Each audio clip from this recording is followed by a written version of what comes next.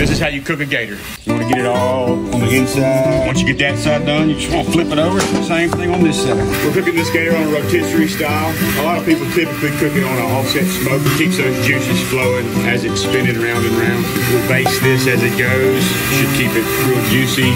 You want to cook to about 165 degrees internal temperature. Should take around four hours. Gator's a white meat. Some people say it tastes like chicken, but I think it's more comparison to like a pork loin. It's a real neutral flavor that's going to take on any seasoning you put on it. Delicious. It's good, bro. We'll ship whole gator overnight to your door.